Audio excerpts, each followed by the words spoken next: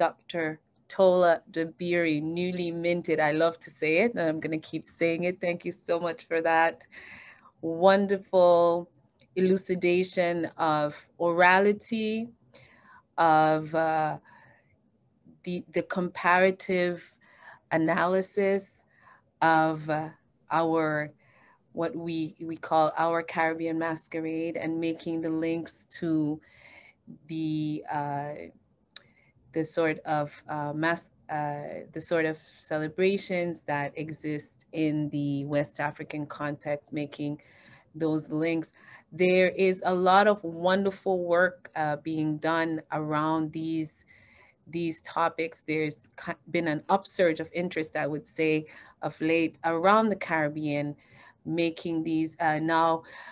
Uh, just listening to um, what you were saying about the uh, the traditional nation dance and the way that the song goes, I was just commenting. Now that we have had a lot of contact with uh, West African film, with Nollywood, uh, we see how our speech patterns, we see these oralities, how we say, oh, at the end of our, our, our sentences, right? And we see how that is something that that we have in common there and that is something that we've retained. And it's so it's so important to see ourselves uh, like uh, stuart hall says the présence africaine is very much something that imbues uh, the Caribbean landscape and to to have the world open up in the way that it has and to be able to make these connections was um, really uh, really important and i know as i say i am in these phd trenches myself so i know that this is the beginning of what is going to be a lifelong project and i want to encourage those of you who are on the zoom and are interested in this type of work to uh, come on board and support Tola's work and to, um, you know, we have our own work that we're doing in Grenada. And I think that we, it can only be enhanced um, having this kind of scholarship added to the body of literature on mas and masquerade, not just in Grenada, but in the Caribbean as a whole.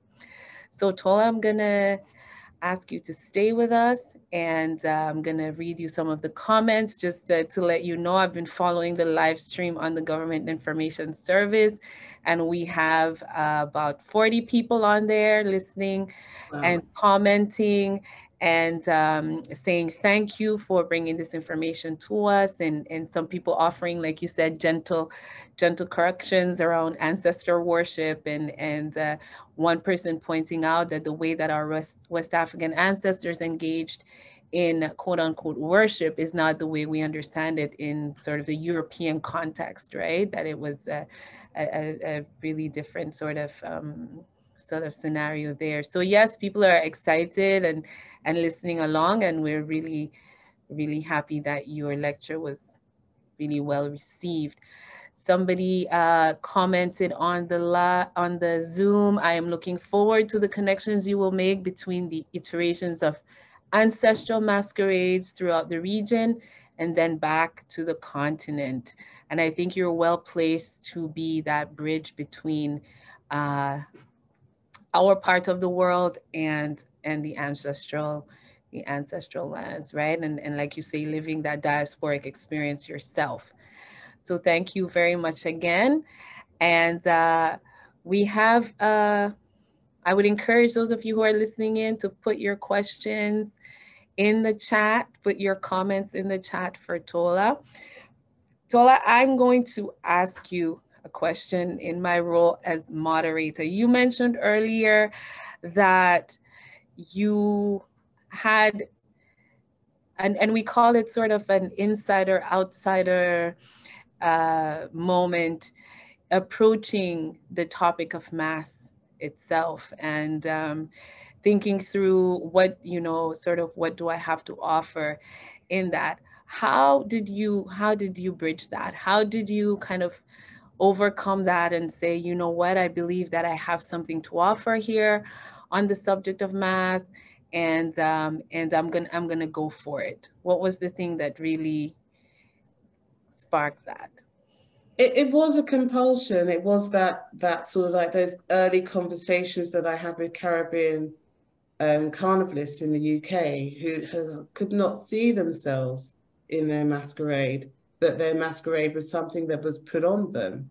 And um, I just really, even at that time, so this was 2011, really felt that, you know, we have to own our own history. And so I wanted to just have a look and see, well, are they right about this? It doesn't feel right to me that this is something that doesn't belong to people of African descent or people of African descent in the Caribbean. I'm pretty certain that, that what they're saying to me isn't the case. And so that's what I thought I had to bring to it. And also because I'd had the earlier um, experience of, of studying orality, I felt that I had a way in and a ready way, made way of actually understanding um, how to talk to the Caribbean carnivores that I came to that wasn't rooted in text. So um, those two things really, I really just wanted to see, mm-hmm. was it nothing to do with these people? I'm going to follow up with you on the question of orality, just because as somebody who is interested in oral history myself, I know how important that tradition of orality is uh, for people of uh, from the, the the African continent, and for, like you said, orality is really our first form, right, of mm-hmm. uh, of communication. What does that focus on orality? You think? Uh, what does it open up uh, to help us to understand outside, like you said, of the of the European frame? What does it what what does it give to us as Caribbean people, understanding our own selves through that that methodology of orality? The use of, or, rather accepting orality as a, as a valid form of um, exploration allows ordinary people to actually discuss their own history or their histories as they understand it. One of the, the most heartbreaking things when you're researching, as you probably found, Tesfa, is that you will ask somebody about something, they'll say, I don't know anything about it. So I will talk to people and say, oh, can you tell me about how you learned about it? And they'll say, oh, well, you know, somebody told me. And that's not viewed as a very good thing, whereas actually the real information is, is being held by the community. So I think accepting orality, as I say, it's not accepting orality only orality, but accepting orality as a valid place for starting your research. I think it actually allows ordinary people to actually then become much more active in the process of research and active in the process of discovering their own history. Because we're talking about, you know, this is this is the whole thing. And this is why doing this lecture was very daunting to me because I'm I'm talking to people in Grenada about the health intangible cultural heritage of Grenada, but it's yours, it's not mine. Mm-hmm. And so actually allowing people to own their own history and being able to express it in a way that's very natural to them through orality is very important. As I said, as I said, is a very valid place for starting your research because we're academics. So eventually, unfortunately, it does end up in literacy. But you know, to start your research in orality is a much more democratic thing. I, I and I asked the question specifically for that reason because we seem to privilege a certain kind of, of textuality. Uh, sometimes even in the Caribbean, we're we're very guilty of that, of wanting to get it from a book, uh, in a mm-hmm. way that we we sort of devalue the uh, the the oral tradition as being, like you said, a valid place to start and to and to move on from. And one of the comments that's being made right now uh, on the GIS Live is that students need to get involved in this kind of research and this kind of exploration. And that's something that needs to start very early. And one of the early easy ways that we can do that, that is through that process of orality, is passing this down. And these this and and I, I know some people on on listening on here will be able to um to speak to that that that used to be very present something very present in our in our culture. So this is uh, these oral traditions they do continue and they are retained and and they are uh, places like you said to start to think about about this. So i'm going to take a, a question now from our our audience. And uh, somebody asks uh, who should benefit uh, from the celebration of our ancestors' horror? I guess thinking through Carnival uh, as a, a, sort of uh, outcome of that horrific Middle Passage experience. Who should benefit from the celebration? And, and a follow up question to that is how authentic is our carnival and at what cost should we preserve our heritage? Oh my goodness. Okay. Question. Yes. right. So taking the, the first one, who should benefit? Well, we should all benefit, but particularly those descendants of the people who survived the traumas of enslavement, be it the Middle Passage or the plantation system or surviving in the colonial era, um, which is sort of like just was an extension of enslavement, but that's another whole other discussion. So I'll leave that there. But but I mean, carnival masquerade is an expression. It's a cultural expression. So I think it should benefit those people of whom's whose culture it is. Does that make does that make sense? Does that answer the question? So I, I find it a bit of an odd question because when you talk about benefits, it's almost like if it belongs to one person, it can't belong to someone else. If somebody enjoys it, somebody else can't enjoy it. But I think, as I said earlier, sort of like, you know, the wonderful thing about Carnival Masquerade is it belongs to the people. That's where it belongs. It belongs to the people. So the people should benefit. So I've rambled on. What was the second question? Let me unmute myself. The second question had to do with the authenticity of our carnival. How authentic is our carnival and at what cost should we preserve our heritage? Authenticity is a really tough one because the thing about intangible cultural heritage is you have to let it change. So one of my fears and one of the reasons that I believe that orality is probably the best way to um, preserve intangible cultural heritage is because it allows that flexibility. Textuality freezes things. And so if you write a book and say, this is Shortknee, and then somebody comes along and they does do something slightly different, then the, short, the Shortknee that's slightly different becomes unauthentic or inauthentic. And so therefore, Shortknee then would become crystallized as one thing and it would never grow and change as it needs to, as it needs to adapt. And so if there is a weather displacement activity and it Shortknee couldn't take place on Grenada, it could take place somewhere else. Or the Shortknee that takes place in the UK takes place at different times, at different carnivals, but it's still Shortknee it's a bit like I was saying, like the stone in the river. It's still the same thing, but it will change its appearance because of the the forces around it. And so I think that talking about authenticity is a really quite a dangerous thing. But I think that your carnival is authentic because it's your carnival. That's that's what I would say. Your carnival is authentic, so it's your carnival. Now I know, looking at that, there is the sort of like the tension between pretty mas and traditional mas. And um, in the UK, there's very little traditional mas now because pretty mas has taken over. But to an extent, pretty mas has become the traditional mas of the UK. It's the, the, the unified Caribbean carnival expression. So it doesn't matter which island you're from. If you're taking part in Leeds West Indian Carnival, you'll probably be in a pretty mas costume because that's carnival. That has become carnival. So I think at, at what cost should you preserve your carnival, your masquerade, or your heritage? I think at all costs. That's my last question because, as I said, it's sort of like it's an unbroken procession between ancestors past, but also ancestors future. So you know there are these people who are coming after us who have a, a, a as much of a stake in the in our history as we have now, as our ancestors did before us. So I think preserving it's really, really very important. Thank you, Tola. We've had uh, heated discussions about the authenticity of Grenadian jab jab, given the, the more recent iterations of, uh, of, of paint and pink paint and blue paint and blue devils and green devils. So there's there, there are these ongoing conversations mm. around um, how far we sort of let the culture evolve.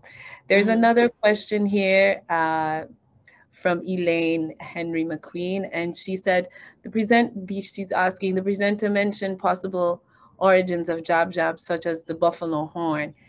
Uh, can you expand a little bit on this?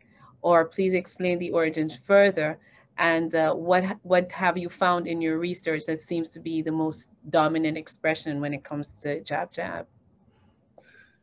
Oh, well, to start with, to explain, um, as I said, I wanted to look at something that could not be called European. And so if you look at a jab jab, there's no way you can say, oh, there's an, that's an imitation of some European masquerade or European carnival costume. You can't say it. So that's why I looked at jab jab. And also because of J'ouvert and the role of J'ouvert and how that is so completely alien to um, British Caribbean Carnival over here because that's all about shows and pretty mas and everything.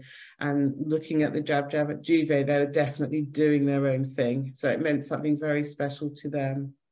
Um, so I started looking, as I said, about about horned and devil mas around the Caribbean and historical um, records of horned and devil mas that's been um, been uh, performed throughout the centuries. I don't have a definitive answer. Um, I don't know if I'll ever have a definitive answer. I feel like saying I don't have a definitive answer yet but I think I have some clues, which is why I, I put those those things. And I think it really just depends on sort of like doing a process of elimination. So as I say, the ECPI um, in southeastern Nigeria do use black body coverings, but were people, were ECPI people enslaved on, on Jamaica, um, sorry, I said Jamaica, I don't know what's going on in my head, were um, ECPI people enslaved on Grenada? And if they're enslaved on Grenada, were they in St. David's? There's sort of like this whole further important looking at sort of like possible links and clues to do, which unfortunately in my PhD research, people think that when you're doing a PhD that, you know, you've got all the time in the world to look at everything, but you really haven't. So um, that's another area of, of, really deep research that I think needs to be done. And I think it needs to be done in an international way. So this is one of those international partnerships that I was talking about. So um, the reason I mentioned the buffalo horn was because um, I have a, a, a, real bee in my bonnet about the jab jab being devil devil because the Christian devil is always represented as a goat. And so the horns come out of the front of the head in Jab Jab, the horns come out of the side of the head, like a buffalo, like a, a like a bull, like a cow. And so therefore, that's another reason why I don't, personally, I don't believe that it is just a representation of the Christian devil, because the horns are not representative of a symbol of a European Christian devil. And so then I was looking at um, examples of um, spirituality um, across West Africa that use or that had a representation of those forms of horns. And I did briefly see someone when I said that Esu, um, the trickster who's often known as a devil. I'm not saying that Esu is the devil, but there are some traditions in South America, as well as some people in Yoruba culture who do refer to him as a devil, mainly because that's an easier way of trying to explain what that character is, but not that the Esu is the devil. So I do understand and I do apologize if I gave any offense by saying that, because I know that there are still many followers of Esu around the um, African diaspora. Right. So, um, mm -hmm. so those are my reasons for looking at um, Oya but, and also because of her role and her relationship to Shango and Shango being such a powerful deity still across the Caribbean. Mm-hmm. But there's so much, so much research that's still needed. Mm-hmm. Somebody, uh, I'm just going to read out a comment uh, from Keela Francis here. She says, "I think your musings, your musings on syncretism are quite apropos. JD El Elder, Raphael and Juku, etc., all look at the syncretic nature of our masquerade. So there's a lot, again, that you can find in the work that's being done around the Caribbean. Valerie Joseph says, I agree. about your uh, point about authenticity. Our experience is authentic to us as people of the African diaspora.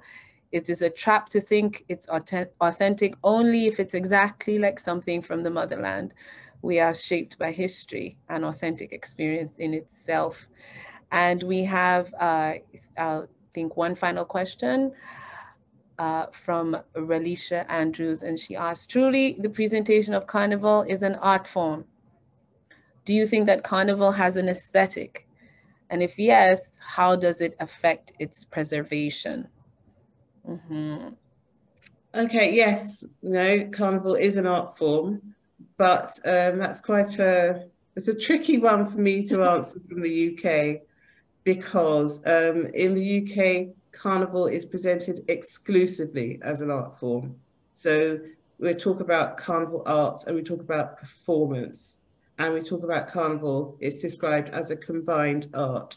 And so all of the um, intangible cultural heritage that I talk about isn't really recognized as important. It is recognized it's there, but it isn't recognized as important. And interestingly enough, um, the pandemic and the digital presentations of Carnival, which took place over here, actually allowed carnivalists to take control of the narrative away from the Arts Council and Heritage Lottery and all the other um, government agencies here and actually start talking about the heritage and the intangible cultural heritage in Carnival in a much more open and confident way than I've ever heard. So yes, I do agree that Carnival is an art form. There is music, there's dancing, there's performance, there's costume, there's design. I understand all of that. But I steer clear of looking at that or talking about that because it's very easy to have the, the intangible cultural heritage subsumed by the arts part from my perspective here in the UK. So, yes.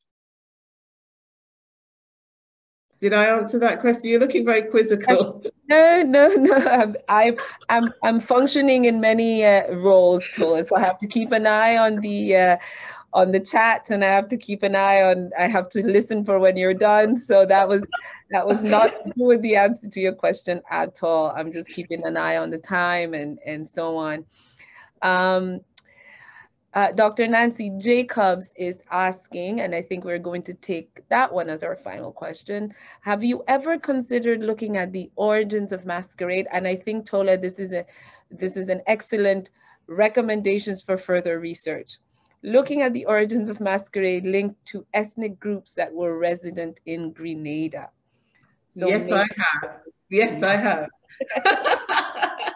Thank you, Nancy. Yes, I have because the thing that really fired me up after my research trip, I have to tell you, when I came to Grenada to do my research, my field research, my my enthusiasm for my PhD was waning, really was, because you get to the middle and it's just like oh, I can't stand this anymore. But it was I was completely enthused by everything that I found, and so thank you. The thing that really fascinated me more than anything and I'm coming from a, a, a, a culture where there's a very homogenized view of Caribbean carnival or seaside carnival or whatever. So carnival's pretty much the same wherever you go and see it in the UK. Um, that within a tiny island, there are so many different forms of masquerade that were geographically linked to their performers. So I went to Verkor to see, um, oh, sorry, I went to St. Mark's to see Verkor.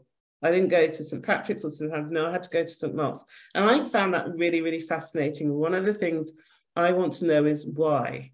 Why, the, why have these masquerades developed in such tight locality? Was it because, as I was saying about Jab Jab, were there many people, were there many Eki people who were um, captive there? And that's why that particular form of body covering was, was popular there what happened, you know, were there lots of Yoruba people practicing Egungun in St. Patrick's and that developed into Shortknee. So yes, thank you, Nancy. Yes, it's definitely, I want to know why about that. And I'm very excited to come back and have another look.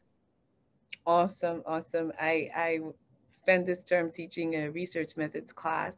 And one of the things I keep saying to my students, I said, academics have a nifty little mechanism called recommendations for further research you know that that's what keeps us going forever and ever thank you again uh, so much dr tola dabiri for what uh, mr uh, jared antoine has described as a really uh, illuminating and wonderful presentation. He says, congratulations to all. At this time, uh, the, the last question that you took uh, is from none other than our 2023 uh, lecturer in the person of Dr. Nancy Ferguson Jacobs, and she will be giving the annual commemorative emancipation public lecture. And we can announce that that will be on Monday, July 31st, 2023, under the theme, Understanding Slavery, Emancipation, and Reparations, addressing themes like Africa before the transatlantic trade and enslaved Africans, African development at the time of European industrialization, and uh, Dr. Editha Nancy Ferguson Jacobs has celebrated 49 years. And we will be the beneficiaries of 49 years as a graduate teacher and specialist lecturer in Caribbean history, culture, and African art, art history. She has done much research on the intangible heritage and origins of Barbados landship. She is the author of the book Full Steam Ahead, locating the Barbados landship, which ensures that the people of Barbados have a better understanding of their African origins in Ghana and the role of the Asafo institution. If you like what you're hearing, if that is exciting for you, Dr. Jacobs is with us this evening. We're very happy to have her. Be back here, same time, same place for the annual commemorative Emancipation Public Lecture. I have been your moderator for this evening, Tesfa Peterson. At this time, it is my pleasure to welcome Ms. K. Julian Gutu, who is currently employed with the National Training Agency and a member of the Institute for People and eh, People's Enlightenment. She is the Marketing and Communications Officer at the National Training Agency. Her career in communications spans 27 years. I remember seeing her on TV as a presenter when I was a, a, younger person, so I know that very well, at the Grenadian Broadcasting Network. And she rose to senior news editor and acting news director. Kay, it is my pleasure to welcome you to deliver the vote of thanks for us this evening. Welcome. Thank you very much, Tesfa, for that introduction.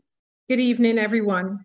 It is my pleasant duty on behalf of the Institute for People's Enlightenment to say thank you to all of you who have contributed to making this evening's annual commemorative Emancipation Lecture a success.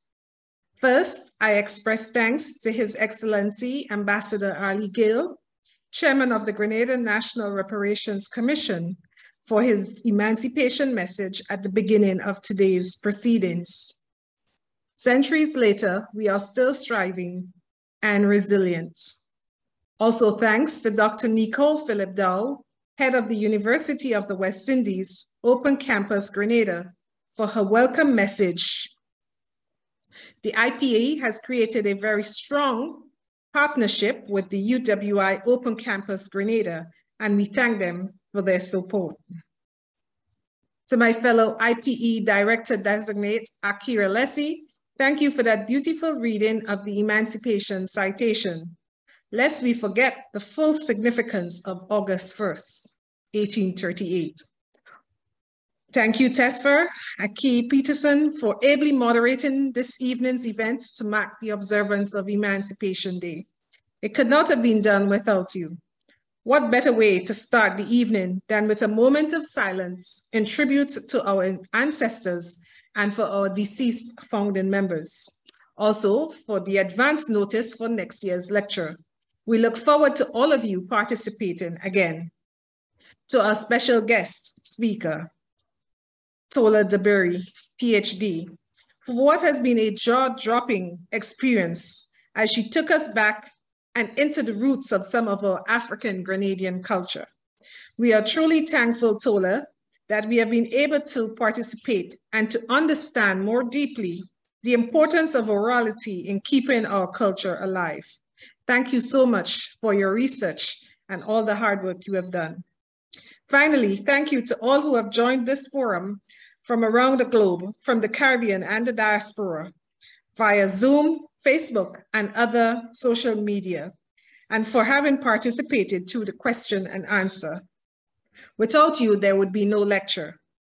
Thanks to all the organizers, IP, CEO, and directors who have worked hard and tirelessly to ensure this event came off, and to the media for its usual support, including GIS for its live streaming on Facebook this evening.